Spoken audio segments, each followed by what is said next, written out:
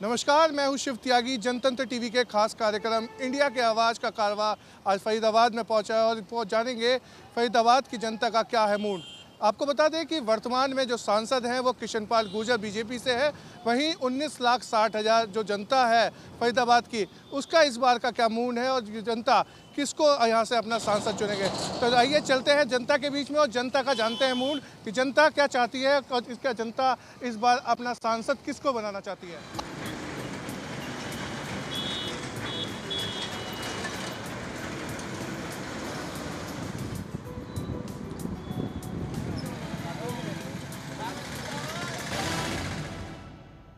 जनतंत्र टीवी का चुनावी चौपाल इस समय फरीदाबाद के जसाना गाँव में और यहाँ पे लोगों की समस्याओं को जानेंगे कि पिछले पाँच साल में कितना विकास कार्य हुआ है।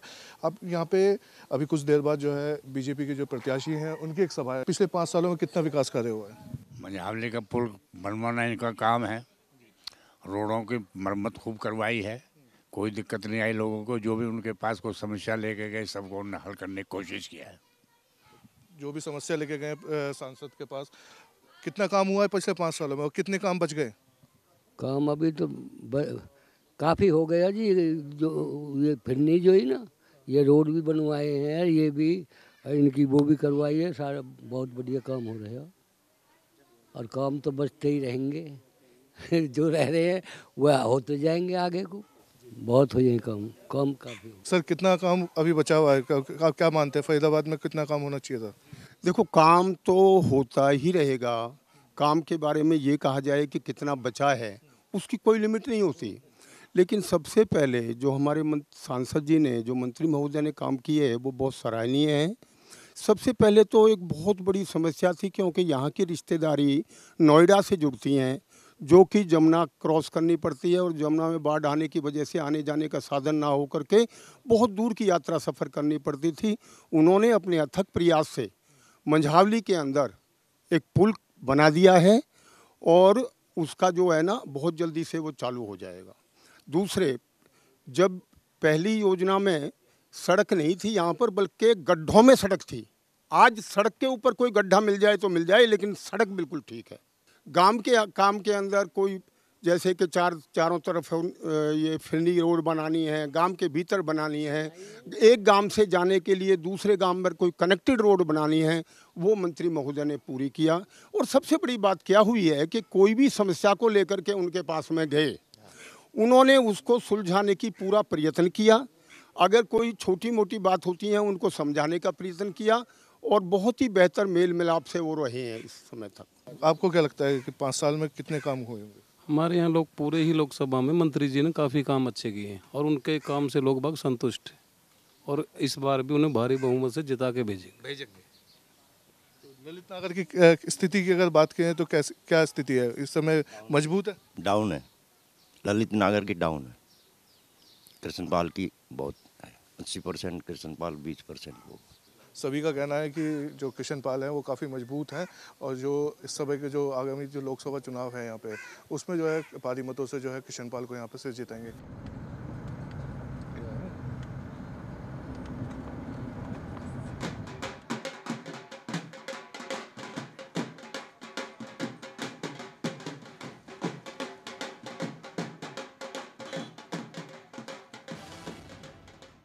इस समय हम मौजूद हैं फरीदाबाद में और फरीदाबाद की मेहंदी वाली गली में मौजूद हैं। आपको बता दें कि फरीदाबाद मेहंदी के नाम से मशहूर है और मेहंदी का व्यापार यहाँ पिछले 250 साल से चल रहा है। लेकिन जैसे जैसे फरीदाबाद का विकास हुआ, मेहंदी का व्यापार यहाँ से धीरे धीरे ख़त्म होने लगा। पहले की अगर बात करी जाए तो यहाँ पे करीब 60 से 70 फैक्ट्रियाँ थी और देसी तरीके से यहाँ पे जो मेहंदी बनाई जाती थी। लेकिन जब फरीदाबाद का विकास शुरू होने लगा, उसके बाद धीरे धीरे फैक्ट्रियाँ राजस्थान में चली गई। कई व्यापारियों से हमने हमारी बात हुई। उनका कहना है कि जो शुरुआती दौर में फरीदाबाद था और आज का जो फरीदाबाद है, उसमें जो मेहंदी का व्यापार है, वो धीरे धीरे यहाँ से ख़त्म होकर राजस्थान में चला गया। ऐसे में जो व्यापारी पुराने यहाँ पे हैं, वो अभी भी यहीं मौजूद हैं और अपनी फैक्ट्रियों को यहाँ पे अभी भी चला रहे हैं। मेहंदी का व्यापार यहाँ मुग़ल काल से है, कम से कम 200-250 साल हो गए। यहाँ फरीदाबाद का मेहंदी के ऑल ओवर वर्ल्ड में फरीदाबाद की मेहंदी फ़ेमस थी और उस टाइम बहुत छोटे लेवल पे काम हुआ करता था। कोई इतनी मशीनरी युग नहीं था। छोटी छोटी चक्कियाँ थीं, औरतें हाथ से कूटती थीं इससे पहले, इसके बाद में फिर आगरा नहर बनी है तो उसके ऊपर भी पंचक्की लग के मेहंदी का काम हुआ। सत्तर बहत्तर के बाद में ये मकैनिज़म ज़्यादा बढ़ा है मेहंदी का तो उसमें हमारी सेल भी बढ़ी है, काम भी बढ़ा है। उन्नीस सौ पैंसठ, छियासठ में फरीदाबाद का शहरीकरण हुआ। काफ़ी खेत तो उसमें एक्वार हो गए थे, पर सत्तर सत्तर बहत्तर पचहत्तर के करीब तो टोटली मेहंदी यहाँ से उखड़ गई है, लोग कंक्रीट का जंगल हो गया है और जितना यहाँ का मेहंदी का व्यापार था सोजत में पाली ज़िले के, पाली ज़िले के अंदर सोजत है, उसके अंदर सारे लोग वहीं इंडस्ट्री लगा रही हैं, वहीं डाइवर्ट हो गया है। सारा मेहंदी का व्यापार, जो नेचुरल मेहंदी है, उसका व्यापार वहाँ शिफ्ट हो गया है।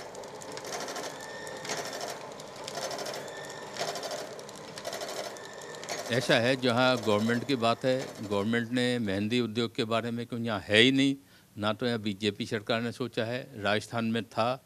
राजस्थान में जीएसटी से पहले उन लोगों ने टैक्स माफ़ कराया था, वो राजस्थान में किया गया है, फरीदाबाद में नहीं था। अब जीएसटी लागू हो गया है तो राजस्थान में भी लागू है, फरीदाबाद में भी लागू है ऑल ओवर इंडिया लागू है।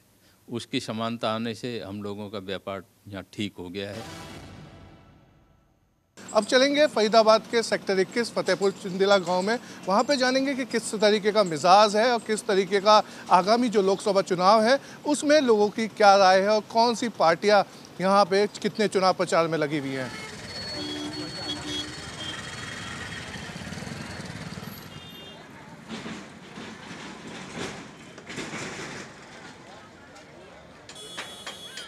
देखिए, चुनाव प्रचार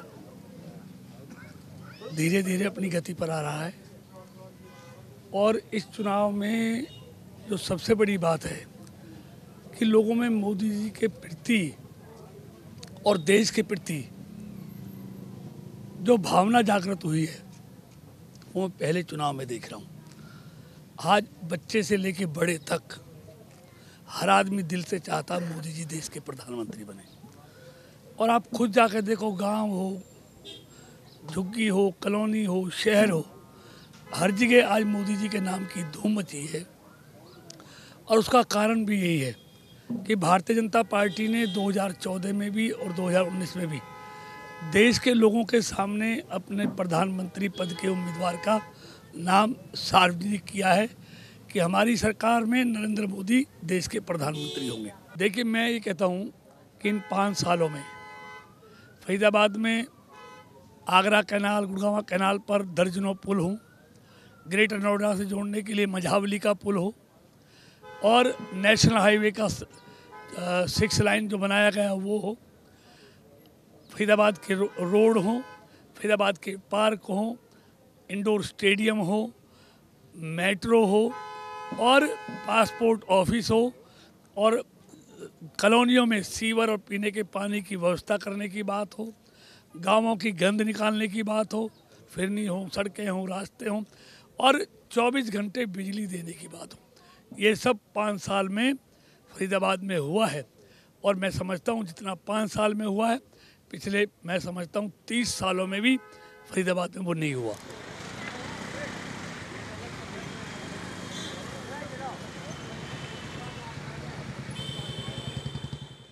जनतंत्र टीवी का खास प्रोग्राम इंडिया की आवाज़ इस समय फरीदाबाद के शर्मा चौक पे पहुँचा हुआ है और यहाँ से लोगों से जानेंगे कि किस तरीके की यहाँ पे विकास कार्य हुए हैं। लोगों से ये पूछेंगे कि आगामी जो उनकी जो उम्मीदें हैं, वो किस तरीके की उम्मीदें हैं और किस तरीके का विकास वो यहाँ पे चाहते हैं।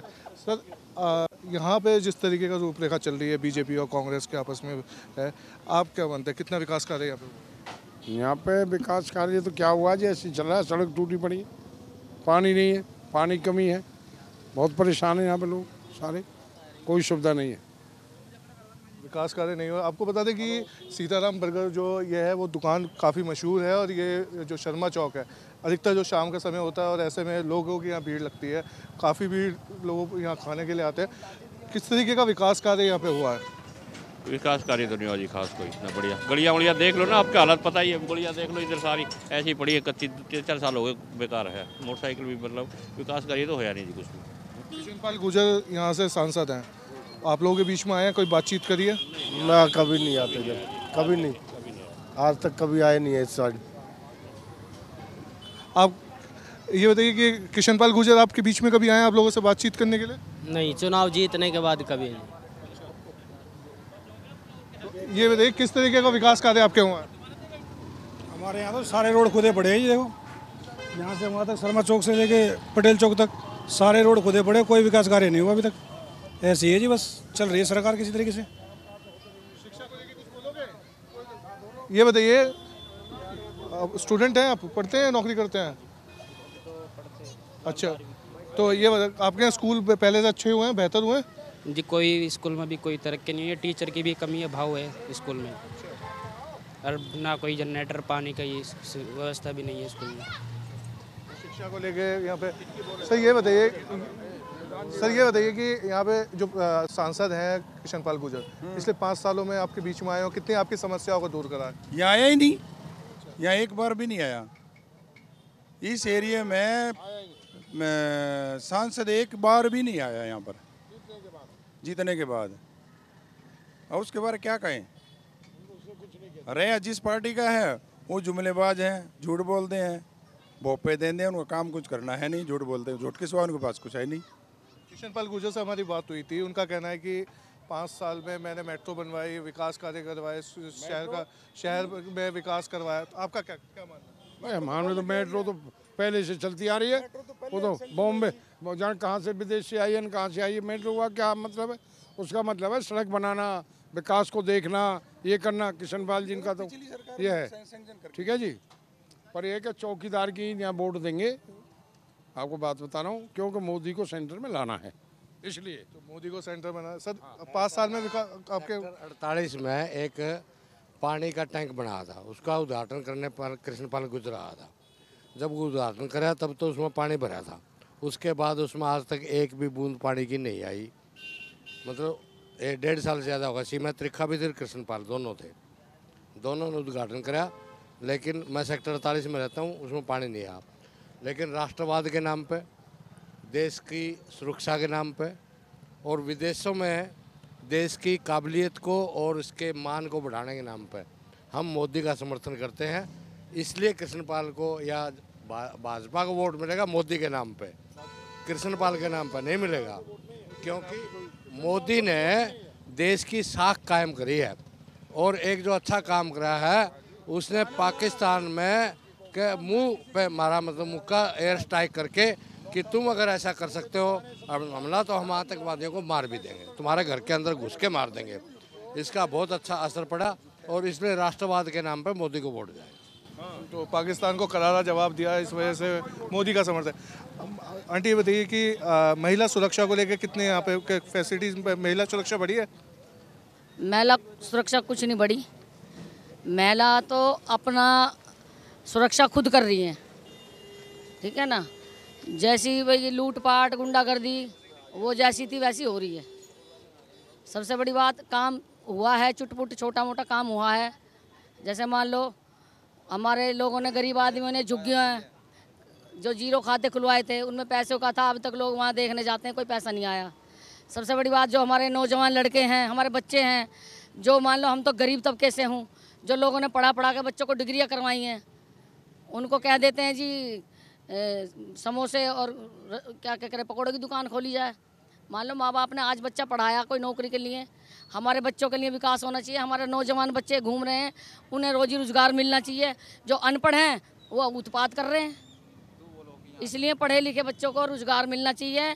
ठीक है सेंटर में मोदी आए मगर यहाँ आए तो कोई अच्छा आदमी आए जो कोई काम करवाए हमारे नौजवान बच्चों को रोज़गार दे। सांसद यहाँ नहीं आए पर यहाँ सांसद को कोई नहीं जानता। वोट सारे चौकीदार को मिलेंगे बीजेपी को वोट करेगी जनता ठीक है? तो बीजेपी को वोट करेंगे क्योंकि राष्ट्र हित का मुद्दा है और ऐसे में जिस तरीके से सर्जिकल स्ट्राइक हुई थी और पाकिस्तान को करारा जवाब दिया ऐसे में जनता का कहना है कि एक बार फिर केंद्र में मोदी सरकार आए। प्रत्याशी चाहे कोई भी हो लेकिन वोट जो है वो मोदी सरकार को जाएगा।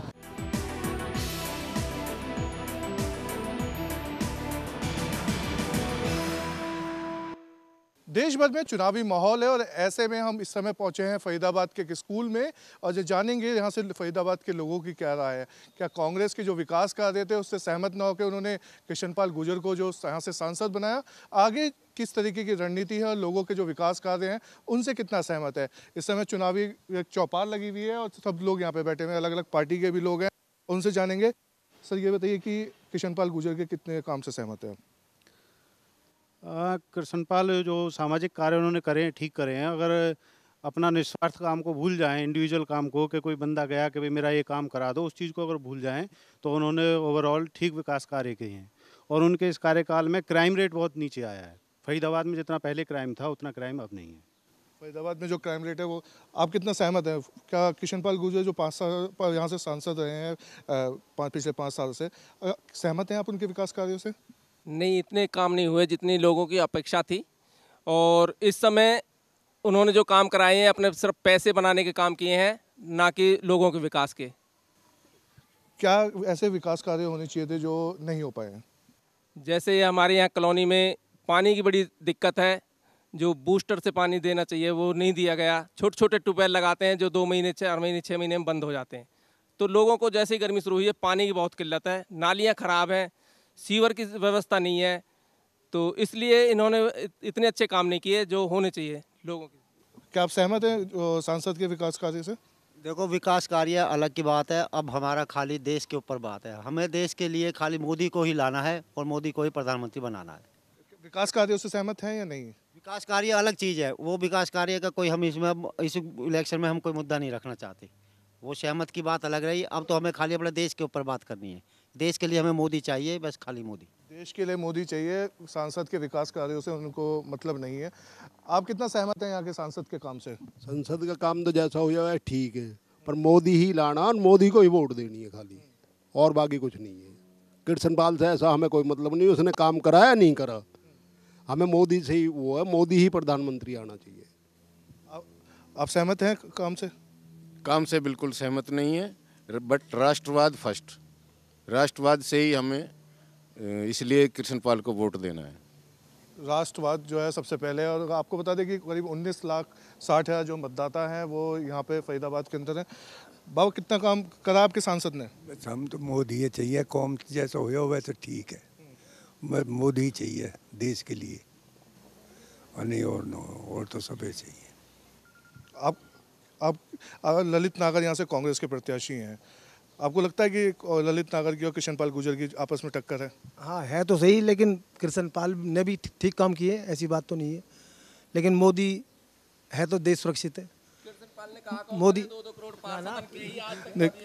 सब सब ये बताइए ये ये ये बताइए ये सब कह रहे हैं कि मोदी हमें कुछ चाहिए किशन पाल के काम से मतलब नहीं है। कृष्ण पाल ने काम लोगों से कहा कि दो दो करोड़ रुपए पार्षद को दूँगा मैं अपने वार्ड के विकास के लिए लेकिन आज तक नहीं दिया। और जो स्ट्रीट लाइट है वो भी जो गिन गिन के देवा कि पचास ले जाओ जी। पचास है कहाँ लगाएगा वो? तो ये बढ़िया काम नहीं कर रहे जो इसमें। और अपने बेटे को जो डिप्टी मेयर बना के बिठा दिया सारी संस्था अपने कब्जे में है जो कि और लोगों के साथ भी होना चाहिए। आप कह रहे हैं कि जिस तरीके से इनका कहना है कि सांसद के काम से कुछ नहीं है आपका क्या कहना है नहीं कृष्णपाल ने काम तो करे हैं ऐसी बात तो नहीं है कि नहीं किए। आपके सामने ही कह रहे हैं कि काम नहीं कर रहे हैं? नहीं वो ठीक है उनकी उधर नहीं हुआ होगा हमारे उधर तो हुआ है। नहीं नहीं काम बहुत हुआ है काम हुआ है ऐसी नहीं है। ऐसी कोई बात नहीं है काम हुआ है।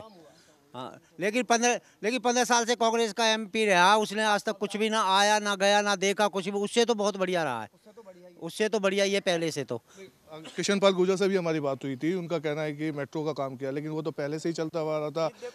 मेट्रो का काम आया था कांग्रेस के ऊपर लेकिन जो तरक्की हुई है मेट्रो की ज़्यादातर बीजेपी के उसमें हुई है और ये जो फरीदाबाद से गुड़गांव के लिए पास हुआ है वो भी बीजेपी ने करवाया बल्लभगढ़ तक जो मेट्रो की वो भी बीजेपी के उसमें हुआ है और जो भी हमारे हाईवे में पुले बने नॉन स्टॉप गाड़ियाँ चल रही है वो भी बीजेपी के राज में हुई है। तो क्या कांग्रेस के कार्यकाल में विकास कार्य नहीं हुए थे? नहीं, नहीं विकास कार्य रुक गए थे बिल्कुल। एक के रोड तो बिल्कुल ही रुक गया था जो बीजेपी ने आते एक साथ ही पाँच छः महीने में कंप्लीट कर दिया था। जिस तरीके से देखिए और लोगों से जान लेते हैं ये सरकार में सर दस साल तक के एम पी लटके रहे हो के एम पी रोड नहीं बने हो।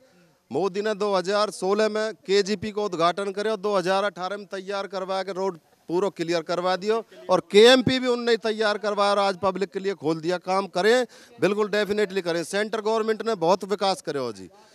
आज जीटी रोड पर देख लो, तमाम चौराहे पे पुल बन गए। फटाफट गाड़ी जा रही है, आ रही है। साफ़ सफ़ाई रोड, शहर में बढ़िया हो रही है। साफ़ सफ़ाई के लिए गाड़ी उनने चलवाई है। वो ग्रीन करके कुछ इस तरह से गाड़ियाँ, वो कूड इको ग्रीन वाली कूड़ा उठा रही है। पहले सरांद मारी घरन के सामने कूड़ो पर रहे हो। विकास करें, करे कैसे नहीं है जी? कांग्रेस ने कुछ विकास ना करे, मोदी की सरकार में विकास हुए टोटल। बीजेपी ने यहाँ से विकास वो कह रहे हैं कि जो कांग्रेस ने कोई विकास कार्य नहीं करा था। यहाँ पे जो पिछले पाँच साल में यहाँ पे बड़ी बड़ी बिल्डिंगें बन गई रोड चौड़ी हो गई। आपको क्या, लगता है कि वाकई में हुआ इतना? नहीं आप ये कह रहे हैं कि मोदी ने विकास किया। क्या सत्तर साल में कुछ देश में नहीं हुआ? कोई तरक्की नहीं आई? कुछ नहीं हुआ? सिर्फ़ चार साल में मोदी ने बसा दिया पूरा देश को? सारे काम हुए हैं लेकिन ये लोगों की अपनी सोच है कि हाँ हमारे काम नहीं हो रहे। अब नोटबंदी में लोग परेशान जीएसटी में परेशान टैक्स में परेशान। क्या देखो नो नोटबंदी इतनी बढ़िया करी है कि हर दूसरे तीसरे दिन नकली नोट आता था। अब नकली नोट नहीं आता है, है? नोटबंदी तो हुई नहीं है। नोट तो अभी भी है। नोट बदले गए हैं बस। कौन कहता है नोटबंदी हुई है? लेकिन लोग तो लोग तो लाइन लोग तो लाइनों में खड़े रहे ना कई दिन तक परेशान रहे। नहीं नहीं ऐसा कुछ नहीं है। वो तो एक दिन में ही जिनके पास जो कम पैसे वाले हैं उनका तो एक दिन में ही हो गया। ज़्यादा दिन लाइन में तो वही खड़े रहे जिनके पास ब्लैक मनी ज़्यादा थी। कई लोग आम जनता तो परेशान हुई ना नोटबंदी से। वो तो देश के लिए जी इतना तो झेलना पड़ता है। चलो देश के लिए झेलना था। आप ये बताइए कि जीएसटी से यहाँ के लोग परेशान हुए नहीं हुए? जीएसटी से किसी को कोई परेशानी नहीं है। जीएसटी से तो बिज़नेस करना और आसान हो गया है। जीएसटी से पहले हम यहाँ से गाजियाबाद भेजना था तो थर्टी एट फॉर्म के लिए इंतज़ार करते रहते थे। अब तो डायरेक्ट ई वे बिल बनाओ पूरे हिंदुस्तान में कहीं भेजो एक बार टैक्स लग गया जो लग गया। जीएसटी से तो सुविधा हुई है बिजनेसमैन को। फरीदाबाद के लोगों को जीएसटी से फ़ायदा मिला। आप ये बताइए विकास कार्य आपके यहाँ कितने हुए हैं? कितने सहमत हैं? हमारे यहाँ विकास कार्यों की झड़ी लगा दी है इस सरकार ने। सबसे पहले में पलवल में कॉलेज बनाया कृष्णपाल गुर्जर ने। बघौला में कॉलेज बनाया है। जो 30 साल से जमुना का पुल जो रुका हुआ था, ये इस सरकार ने बनाया है कृष्णपाल गुर्जर ने। और संजय गांधी मेमोरियल नगर में, आज तक आधे एरिया में कोई बिजली नहीं, कोई पानी नहीं, कोई वहाँ सीवर नहीं। और अभी जो है सीमा तिरखाने और कृष्णपाल गुर्जर ने यहाँ जो है सीवर भी डलवाया है पानी भी जो है ट्यूबवेल लगाए हैं और बहुत काम हुआ है। युवा भी हमारे साथ यहाँ पे बैठे हुए हैं कई युवा हैं। उनसे पूछेंगे कि पिछले यहाँ पे जब से बीजेपी की सरकार है उनको किस तरीके का यहाँ पे रोज़गार मिला है या शिक्षा का जो स्तर आप शिक्षा का स्तर कितना अच्छा हुआ है? शिक्षा के स्तर में कोई कमी नहीं है। सब चीज़ की फैसिलिटी अवेलेबल है। जो जितने भी प्राइवेट स्कूल हैं वो बहुत हैं और जो सरकारी स्कूल की सुविधाएँ हैं वो भी मच बेटर हैं। ऐसा नहीं है कि इस इस बीजेपी सरकार में शिक्षा का स्तर सुधरा है घटा नहीं है। रोज़गार मिला है कुछ पिछले पाँच सालों में आपका? रोज़गार के व्यापार में उन्होंने जो जितने भी बिज़नेस ऑक्यूपेंसी अगर अपना बिज़नेस भी कर रहे हैं तो लोग लोग अपना पहले से मच बेटर स्कोप मिला है उनको अब काम करने के लिए। और सर्विस एम्प्लॉई जो हैं, बहुत सारी कंपनीज़ नहीं आई हैं, बाहर से भी आउट ऑफ़ इंडिया तो मल्टी कंपनी का स्कोप बड़ा है रोज़गार की बेस पर रोज़गार हो जाएगा।